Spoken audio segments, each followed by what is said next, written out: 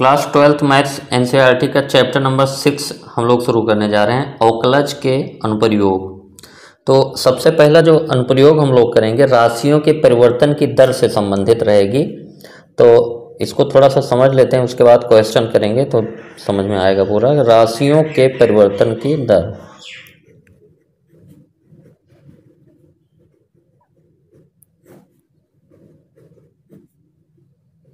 राशियों के परिवर्तन की दर rate of change of quantities rate of change of quantities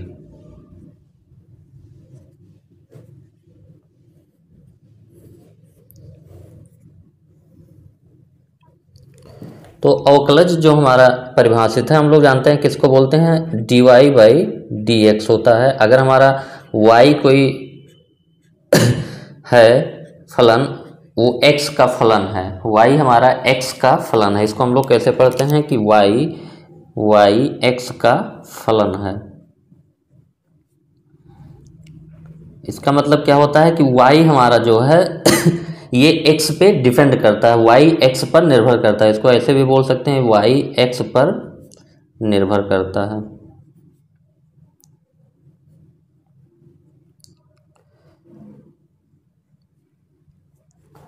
तो और x हमारा क्या है? अचर है। सॉरी x हमारा क्या है? चर है। और y हमारा कौन सा चर है? जो x पे निर्भर करता है। X पे निर्भर करता है y इसको बोलते हैं इंडिपेंडेंट सॉरी इसको बोलते हैं इंडिपेंडेंट वेरिएबल इंडिपेंडेंट वेरिएबल और इसको बोलते हैं डिपेंडेंट वेरिएबल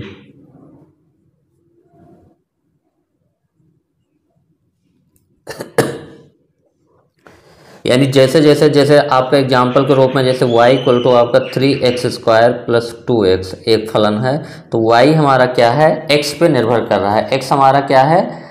इंडिपेंडेंट वेरिएबल है और वाई डिपेंडेंट वेरिएबल है।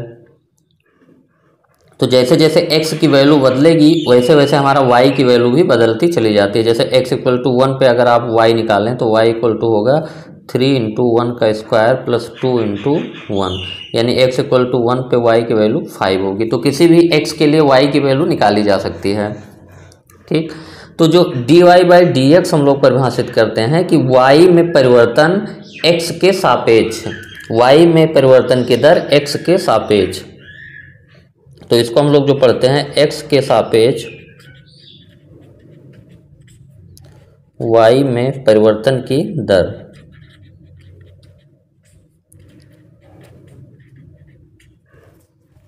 x के सापेक्ष, y में परिवर्तन की दर।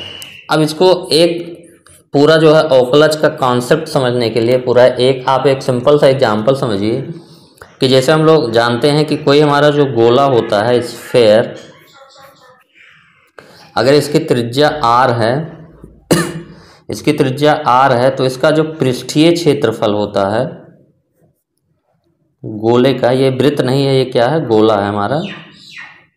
पृष्ठीय क्षेत्रफल का जो फार्मूला होता है, अगर पृष्ठीय क्षेत्रफल को हम लोग एस से निरूपित करें तो ये क्या होता है? फोर पाई आर स्क्वायर, यानी s equal to four pi r square. यानी गोले का पृष्ठीय क्षेत्रफल हमारा गोले की त्रिज्या पे निर्भर करता है। जैसे जैसे आप त्रिज्या जो है बदलेंगे, वैसे वैसे हमारा जो है गोले का सरफेस, यानी पृष्ठीय क्षेत्रफल भी बदलता चला जाएगा।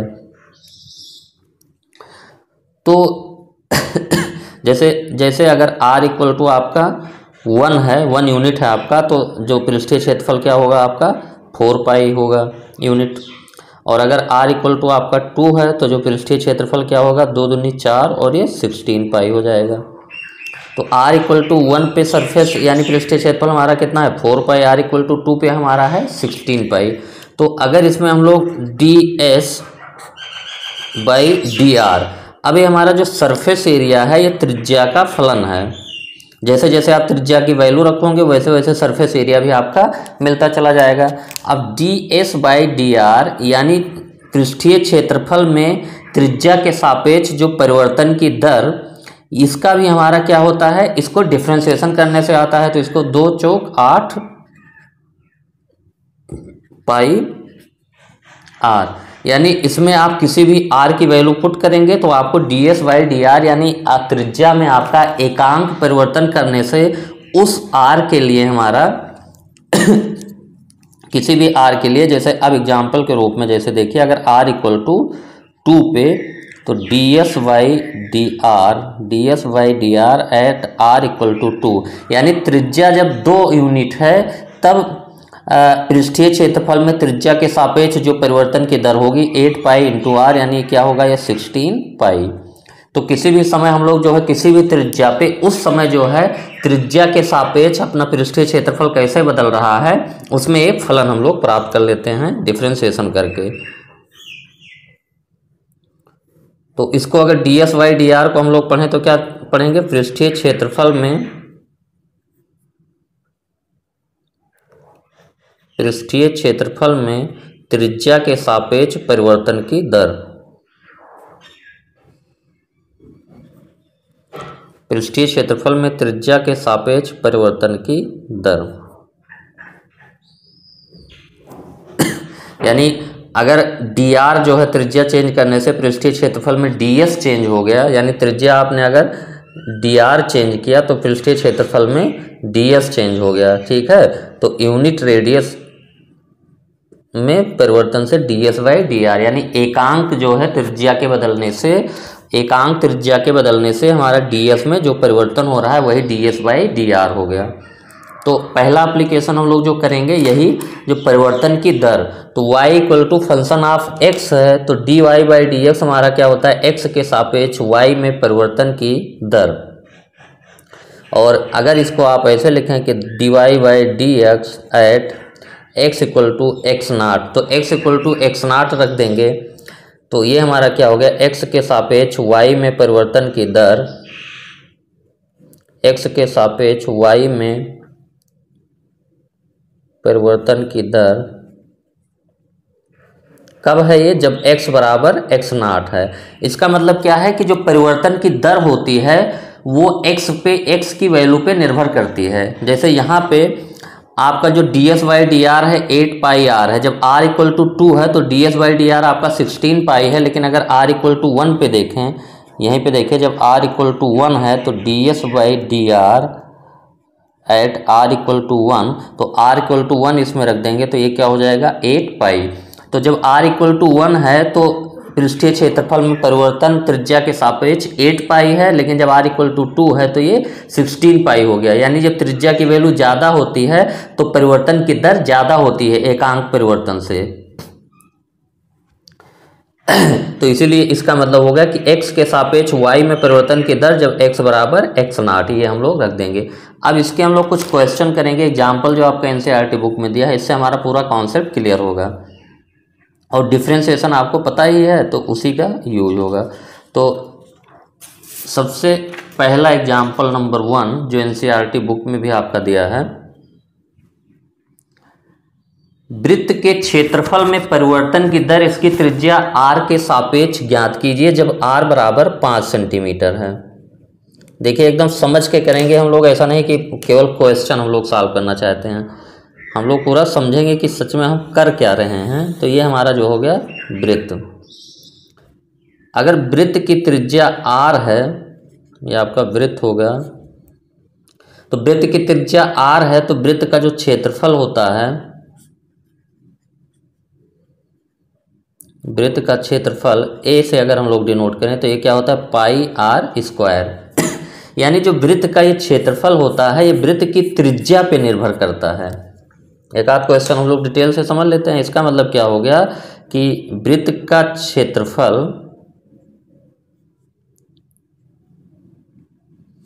वृत्त का क्षेत्रफल वृत्त की त्रिज्या पर निर्भर करता है। जैसे जैसे आप त्रिज्या बदलोगे, वृत्त का क्षेत्रफल भी बदलता चला जाएगा।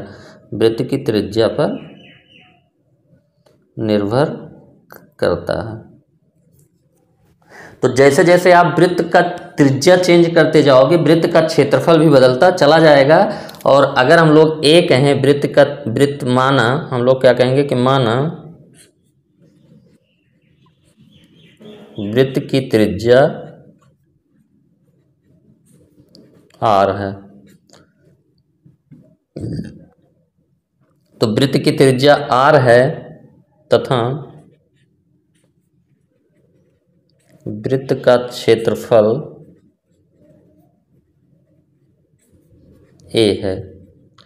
तो हमको पता है कि ए बराबर क्या होता है? वृत्त का जो क्षेत्रफल होता है ए बराबर पाई आर स्क्वायर ए बराबर पाई आर स्क्वायर यानी वृत्त का क्षेत्रफल और वृत्त की त्रिज्या में ये संबंध हमको पता चल गया। अब वृत्त के क्षेत्रफल में परिवर्तन की दर इसकी त्रिज्या आर के सापेक्ष, यानी d a by d r निकालना है हमको। D a by d r तो इसमें हम लोग क्या करेंगे? D a by d r यानी आर के सापेक्ष हम लोग अवकलन कर देंगे। तो d a by d r हमारा क्या हो जाएगा? पाई तो कांस्टेंट हमारा और आर स्क्वायर का हो जाएगा टू आर तो d a by d r हमारा क्या हो गया? टू पाई आर ये हो गया।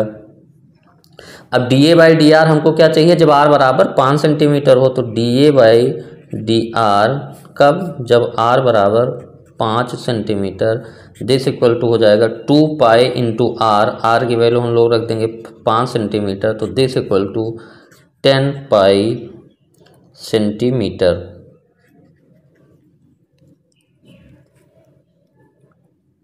ठीक है? यानी यानी हमारा जब r equal to five centimetre है जब r equal to five centimetre तब तब हम लोग ये कहेंगे, वृत्त का क्षेत्रफल, तब वृत्त का क्षेत्रफल टेन पाई टेन पाई और d a by d r है तो इसको हम लोग यूनिट जो है सेंटीमीटर है तो सेंटीमीटर से ऊपर नीचे गुड़ा करके लिख देंगे सेंटीमीटर स्क्वायर बटा सेंटीमीटर तो ऊपर हमारा क्या हो गया? एरिया का यूनिट नीचे त्रिज्या का। तो ten pi centimetre square per second की दर से बदल रहा है।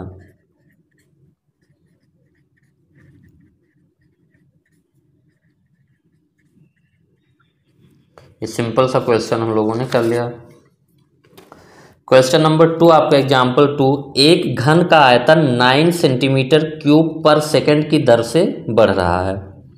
यदि इसके कोर की लंबाई दस सेंटीमीटर हो तो इसके पृष्ठ का क्षेत्रफल किस दर से बढ़ रहा है? तो सबसे पहले हम लोग देखते हैं हमारे पास गिवन इन्फॉर्मेशन क्या क्या है। हमारे पास क्या है? एक घन है कोई क्यूब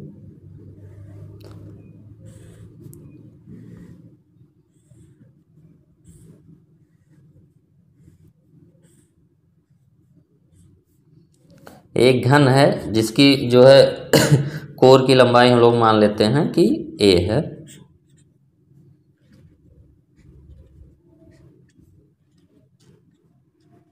ये हमारा क्या हो गया? घन।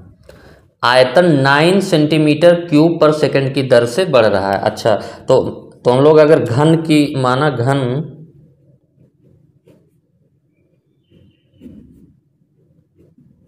कि एक कोर की लंबाई ए है। घन के एक कोर की लंबाई ई है ए ए है तो घन का आयतन हमारा क्या हो जाएगा? घन का आयतन, जो घन का आयतन v से अगर डिनोट करें तो क्या होता है? भुजा क्यूब यानी ये हो जाएगा ए क्यूब और जो घन का पृष्ठ का क्षेत्रफल है पृष्ठ, घन का पृष्ठ क्षेत्रफल, इसको हम लोग एस से लिखें तो घन के छः छः पृष्ठ होते हैं और सभी क्या होते हैं? वर्गाकार। तो ए इंटू ए एक का हो जाता है ए स्क्वायर तो सिक्स इंटू ए स्क्वायर ये हमारा पृष्ठीय क्षेत्रफल हो जाएगा। अब ये कह रहे हैं कि घन का आयतन nine centimetre cube per second की दर से बढ़ रहा है, जब उसके कोर की लंबाई क्या है? दस सेंटीमीटर है। यानी आयतन में परिवर्तन की दर हमारा दिया है nine centimetre cube per second, यानी आयतन में परिवर्तन की दर v इक्वल टू हमारा है ए क्यूब तो आयतन हमारा कोर पे निर्भर कर रहा है तो आयतन किसके सापेक्ष बदलेगा? कोर के सापेक्ष तो d v by d a यानी ए के सापेक्ष अगर दोनों तरफ़ हम लोग डिफ्रेंसिएशन कर दें तो ए क्यूब का डिफ्रेंसिएशन थ्री ए स्क्वायर और ये जब कोर की लंबाई दस सेंटीमीटर है तो ये दिया है हमारा, यानी d b by d a d b by d a जब हमारा ए बराबर है दस सेंटीमीटर तो दिस इक्वल टू यहाँ से देखें तो क्या हो जाएगा? थ्री इंटू टेन सेंटीमीटर का whole square this equal to hundred यानी थ्री हंड्रेड सेंटीमीटर स्क्वायर यानी d v by d a जब ए बराबर टेन सेंटीमीटर है तो ये क्या हो गया? थ्री हंड्रेड सेंटीमीटर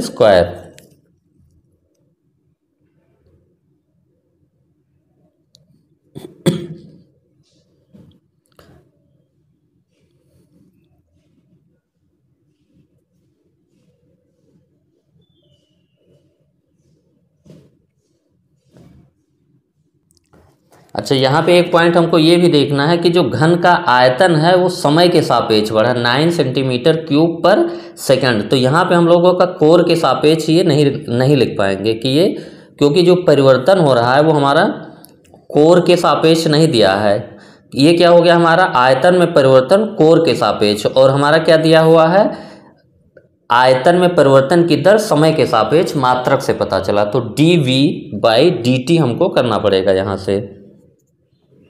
यानी अगर हम लोग यहाँ पे कहें सिंपली तो ये हमारा जो दिया है, ये d v by d t equal to दिया है nine centimetre cube per second d v by d t यानी आयतन में समय के सापेक्ष परिवर्तन की दर आपका दिया है nine centimetre cube per second d b by d a यहाँ हम लोग लिख लेते हैं यहाँ, क्योंकि पता चलेगा आपको कि क्यों ये गलत काटा है। D b by d a क्या है? आयतन में कोर के सापेक्ष परिवर्तन की दर। तो यहाँ पे हमको कोर के सापेक्ष परिवर्तन नहीं करना हमको समय के सापेक्ष। तो डिफ्रेंसिएशन अगर करेंगे आप तो टी के सापेक्ष करेंगे। तो v equal to a cube है तो d b by d t equal to a cube का हो जाएगा थ्री ए स्क्वायर और फिर ए का हमारा हो जाएगा d a by d t ये डिफ्रेंसिएशन तो आपको पता ही है। तो t के सापेक्ष के तो d b by d t equal to three a square d a by d t अच्छा d a by d t को हम लोग क्या बोले? D a by d t ये हमारा कोर में परिवर्तन की दर है।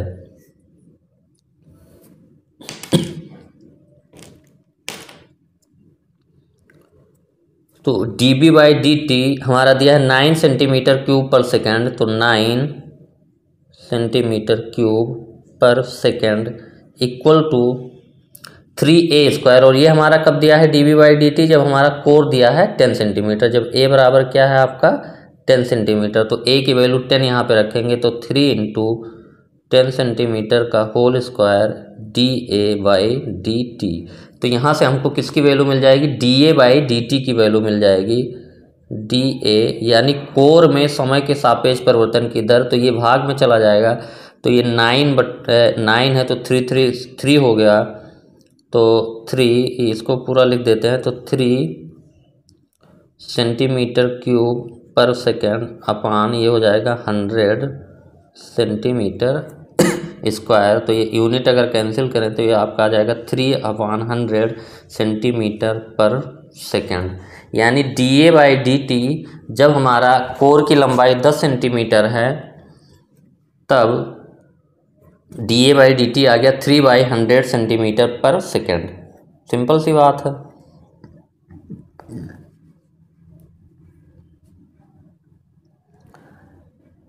पृष्ठ का क्षेत्रफल किस दर से बढ़ रहा है? पृष्ठीय क्षेत्रफल किस दर से बढ़ रहा है? ये हमको निकालना है तो पृष्ठीय क्षेत्रफल एस इक्वल टू क्या होता है? S equal to six into a square तो हमको क्या चाहिए? D s by d t d s by d t तो डिफ्रेंशिएट करेंगे तो सिक्स इंटू ए स्क्वायर का डिफ्रेंशिएशन टू ए और फिर d a by d t यही हमारा d s by d t क्या है? पृष्ठ में परिवर्तन, पृष्ठीय क्षेत्रफल में परिवर्तन की दर. तो d s by d t equal to d a by d t इसको इक्वेशन नंबर वन हम लोग मान लेते हैं. अब इसमें हम लोग पुट कर देंगे तो ट्वेल्व इंटू और ये हमको कब चाहिए? जब ए बराबर हमारा क्या है? दस है। ए बराबर दस सेंटीमीटर है तो ट्वेल्व इंटू दस सेंटीमीटर गुड़े d a by d t हमारा है three by hundred centimetre per second तो d s by d t हमारा हो गया आ, ये हो गया दस से दस कैंसिल होगा थर्टी सिक्स अपॉन टेन यानी three point six centimetre square per second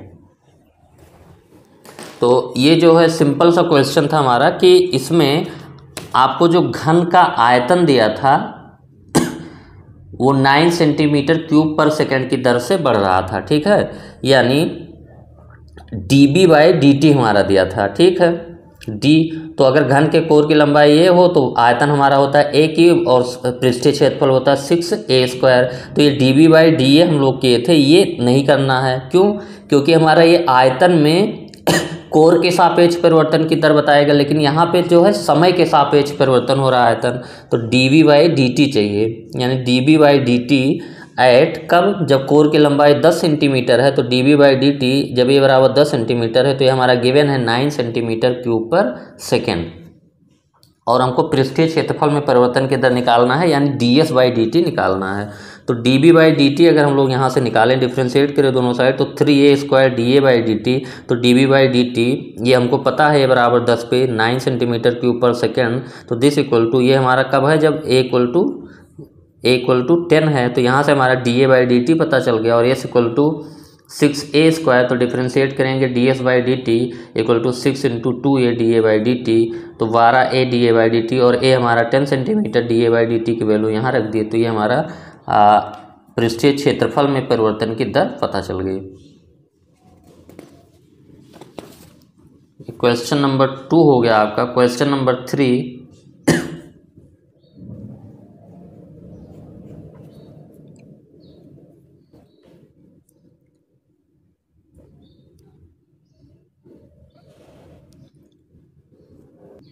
question number third है, आपका एक स्थिर झील में एक पत्थर डाला जाता है और तरंगे वृत्तों में फोर सेंटीमीटर पर सेकंड की गति से चलती हैं। जब वृत्ताकार तरंग की गति त्रिज्या टेन सेंटीमीटर है तो उस क्षण घिरा हुआ क्षेत्रफल कितनी तेज़ी से बढ़ रहा है?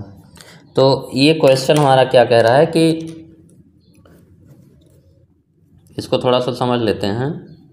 ये आपका समझिए, आपका कोई झील है, एक पत्थर डाला जाता है और तरंगे वृत्तों में जो तरंग होता है, जो आपका जो जो आप पत्थर डालते हैं झील में तो ये तरंगे ऐसे वृत्त के रूप में ऐसे बढ़ती चली जाती हैं। छोटा वृत्त, फिर बड़ा वृत्त, फिर बड़ा वृत्त, फिर और बड़ा वृत्त।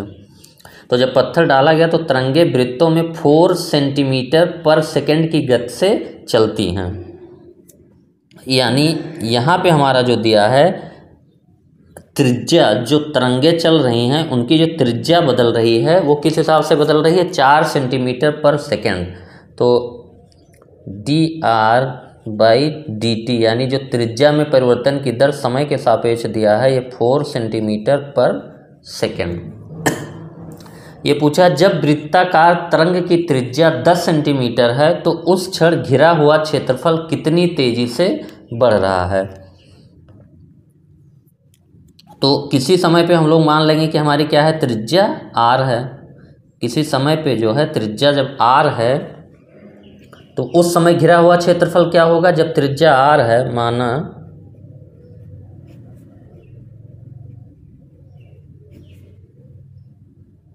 माना किसी क्षण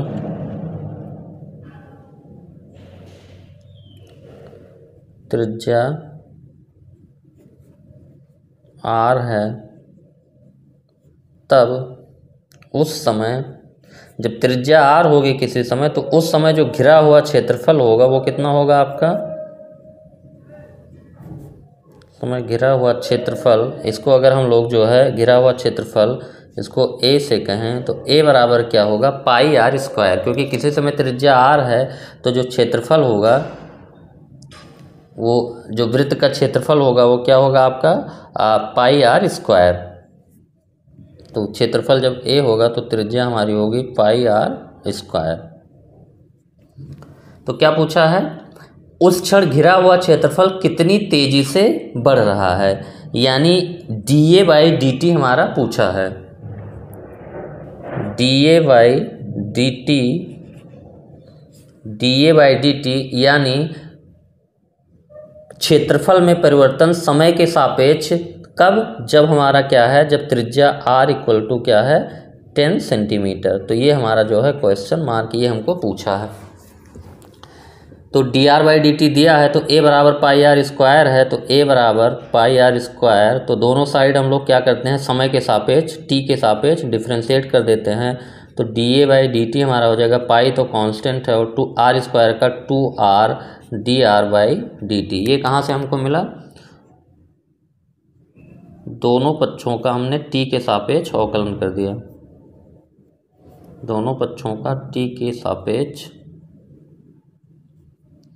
अवकलन करने पर।